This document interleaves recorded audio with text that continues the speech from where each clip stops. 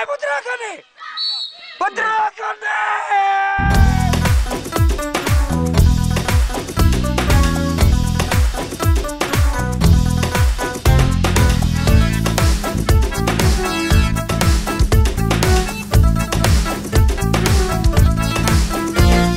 Piše Pixi iz Nemačke, kaže tesne i kopačke. Nisu zvezde se navikle, pa igraju ko na štikle. Kao da je na terenu, oni zveo lepu brenu. Kao da je na terenu, oni zveo lepu brenu.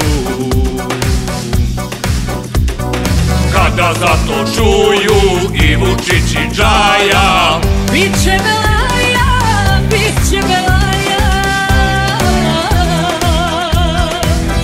Kada za to čuju i Vučić i Džaja Biće Belaja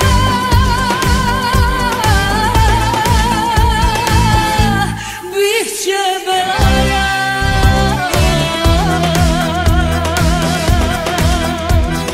Pavlović je kolaborirao, pa smo ga vraćali u život, ali dobro, izdržali. Ma nije mu ništa, folirao malo.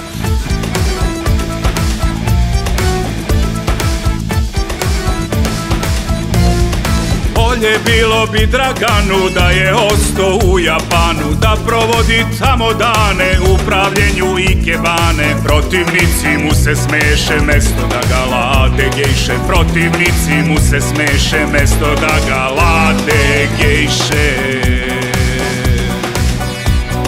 Kada za to čuju i Vučić i Džaja Biće Belaja,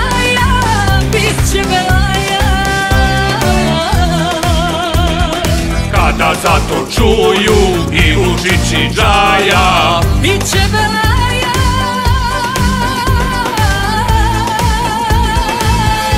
Biće Belaja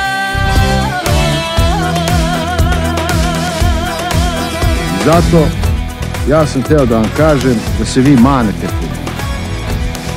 I da ako već morate da se bavite nekim sportom, izaberete neki drugi sport, ima toliko lepih sportova kao što su pikado, brzo hodanje ili A što nisi piksi dance vezao ih sve u lance. Da šmajkelu ruke vežu za treso bi garant mrežu. Al ovako moj piksete orlovi nam rano lete. Al ovako moj piksete orlovi nam rano lete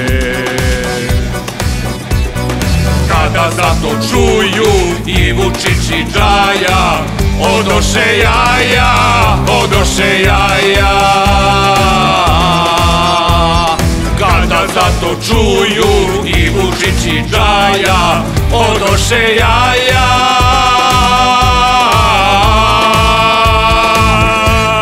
Odoše jaja